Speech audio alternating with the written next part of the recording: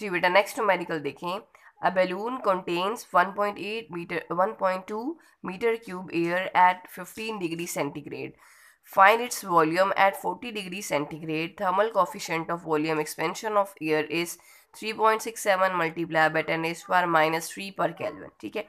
अब इसको समझें, इसमें उसने कहा है कि फिफ्टी डिग्री सेंटीग्रेड पे बैलून का वॉल्यूम कितना था? 1.2 ठीक है? अगर हम उसका टेम्परेचर बढ़ा के 40 डिग्री सेंटीग्रेड कर दें तो जो बाद में उसका वॉल्यूम हो जाएगा, कितना वॉल्यूम हो जाएगा? अब चेंज इन वॉल्यूम नहीं पूछा, उसने कहा है कि फाइनल वॉल्यूम फाइनल वॉल्यूम का मतलब है कि पूरा जो उसका टोटल वॉल्यूम होगा, वो कितना होगा, वो हम इसमें फाइंड आउट करेंगे। तो सबसे पहले हम डाटा लिखेंगे ठीक है इसने कहा है कि इनिशियल वॉल्यूम इनिशियल वॉल्यूम को वी नोट से आप रिप्रेजेंट करेंगे 1.2 और वॉल्यूम का इससे यूनिट क्या होता है? मीटर क्यूब ठीक है? और दूसरा उसने कहा है कि इनिशियल टेम्परेचर जिसको टी नॉट से रिप्रेजेंट करते हैं वो कितना है? 15 डिग्री सेंटीग्रेड इसको जब हम फॉरन हाई ये कैलवन में कन्वर्ट करेंगे क्योंकि स्टैंडर्ड यूनिट कैलवन है प्लस टू सेवेंटी थ्री इसमें कर देंगे। तो ये क्या हो जाएगा? ये हमारे पास हो जाएगा टू एटी एट कैलवन ठीक है? और जो बाद का टेम्परेचर है, उसको हम टी से रिप्रेजेंट करते हैं, वो कितना होगा? फोर्टी डिग्री सेंटीग्रेड उसमें क्या ऐड कर देंगे? टू सेवेंटी थ्री तो ये हो जाएगा थ्री थर्टीन कैलवन ठीक है? हमने टेम्परेचर को अब कन्वर्ट कर लिया और coefficient of volume expansion of air ठीक है?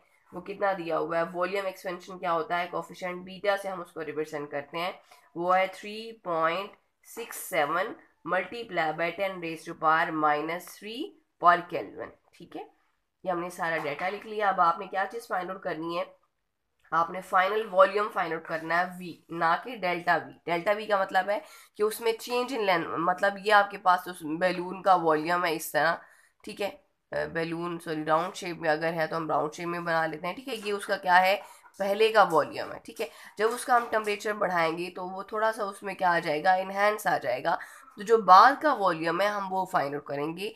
ना कि ये change in volume change in volume है डेल्टा वी ठीक है? कि इन दोनों में फ़र्क कितना है? फ़र्क नहीं फाइंड आउट करना।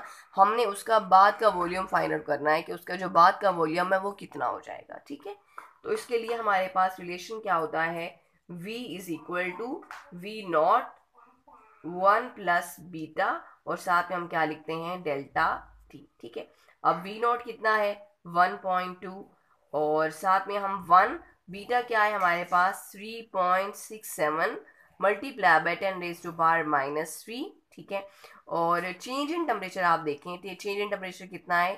थ्री थर्टीन माइनस कर देंगे टू एटी एट ठीक है? अब हम इसको आगे सॉल्व कर लेते हैं।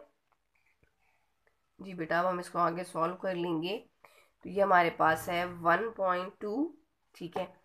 One plus three point six seven multiply by ten raise to power minus three ठीक है? और three thirteen minus two eighty eight करें तो आपके पास आंसर आता है ट्वेंटी फाइव ठीक है? अब हम क्या करेंगे? हम इस ट्वेंटी फाइव को मल्टीप्लाई कर देंगे थ्री पॉइंट सिक्स सेवन के साथ। वन पॉइंट टू वन वैसे रहेगा plus three point six seven multiply by twenty five तो इसका आंसर आएगा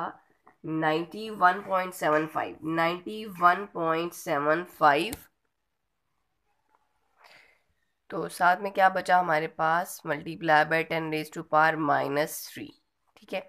अब 91.75 multiply by ten is minus three हम इसको ऐसे लिख सकते हैं ना 1.2 वन एज इट आ गया प्लस माइनस थ्री का मतलब है कि हम इसको मूव करके यहाँ लिख दें वन टू और थ्री अगर हम zero point nine one seven five multiply by ten raise to power three और ये माइनस थ्री कर दें, ठीक है?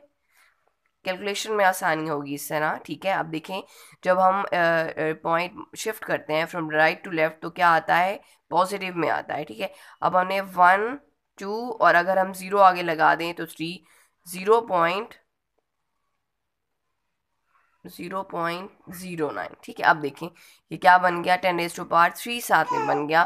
Zero point zero nine one seven five multiply by ten raise to power three ठीक है, अब थ्री माइनस थ्री ये दोनों क्या हो जाएँगे? Ten raise to power zero that is equal to one ठीक है, अब सिंपली ये चीज़ हमारे पास क्या हो गई? वन के इक्वल हो गई। अब हमारे पास क्या चीज़ बची है? ये बची है। हम क्या कर देंगे? वन पॉइंट टू, ठीक है, जब हम इसमें ऐड करेंगे आएगा one point zero nine one seven five. ठीक है? अब हम इसको मल्टीप्लाई करेंगे। वन पॉइंट टू से हमारे पास आंसर आएगा। One point three one zero one आता है, ठीक है? और वॉल्यूम हमने फाइंड आउट किया है। वॉल्यूम का इससे यूनिट क्या होता है? मीटर क्यूब ठीक है?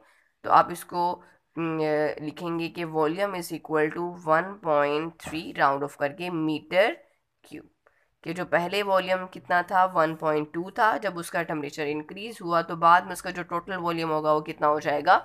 1.3 मीटर क्यूब।